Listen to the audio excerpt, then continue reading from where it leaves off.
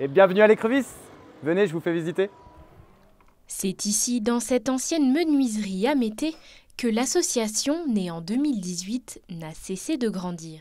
C'est un lieu qui est euh, autogéré et qui se veut avec des valeurs euh, d'ouverture, euh, d'autonomie et d'accessibilité. Donc tout est à prix libre, que ce soit la bière à partir de 2 euros au bar le soir, ou la friperie, ou les ateliers, ou les bureaux partagés.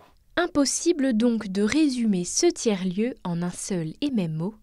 Les adhérents ont accès à un large panel d'activités, salles de coworking, espaces de vie, location de salles et même un espace alimentaire. On a des conventions avec certains grands magasins qui nous donnent leurs invendus. Donc là, on voit par exemple les légumes.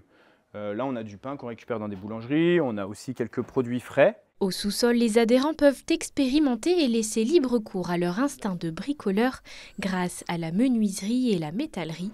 Pour cela, une matériothèque et des outils sont à disposition.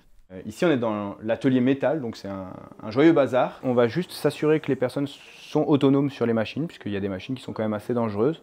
Et puis après, bah, les, gens peuvent venir euh, quand ils le souhaitent. Réel espace d'expérimentation pour la transition écologique et solidaire, ce lieu a été pensé pour créer du lien.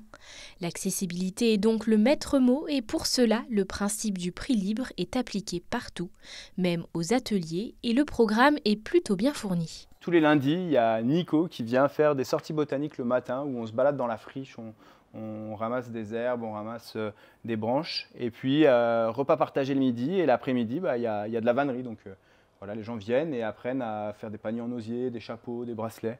Je trouve ça très chouette. Toujours dans le même bâtiment, un pôle social a donné naissance à une colocation presque classique en 2022. Ici, plusieurs jeunes exilés vivent quotidiennement. L'accueil l'hébergement, c'est complètement inconditionnel. Euh, c'est-à-dire que voilà, ne demande pas euh, euh, le statut administratif. Nous, on répond à un besoin parce que ces personnes sont trouvées dehors dans la rue à Annecy. Et donc voilà, on les accueille, on les héberge, on leur offre à manger. Donc là, en ce moment, on lance une grande campagne de financement participatif avec la plateforme des petites pierres et pour nous permettre de financer une année de plus ici à la colocation, pour payer les charges, euh, le loyer au prorata du mètre carré pour rembourser le prêt, l'alimentation pour les jeunes euh, et des petits extras pour des papiers administratifs. Une chose est sûre, c'est qu'au sein de l'association, les initiatives se multiplient. Après le rachat du bâtiment en 2023, l'heure est désormais à la rénovation et même cette étape est réalisée de façon solidaire avec un chantier participatif où cinq bénévoles sont attendus chaque semaine.